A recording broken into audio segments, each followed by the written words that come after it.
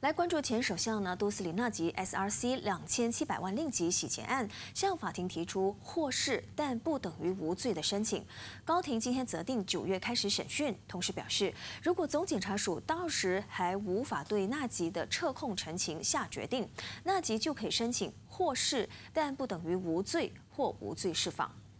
纳吉代表律师丹斯里沙菲易要求法庭撤销纳吉面对的三项洗钱罪，直言案件从2018年至今已拖了太久，对纳吉不公平。较早前，副检察司以需要更多时间整理纳吉的撤控申请为由，要求法庭允准将案件管理日期展延至四月。高庭法官最终择定案件于九月十七号到十九号，以及二十三号到二十四号进行审理，案件管理日期则是三月十二号。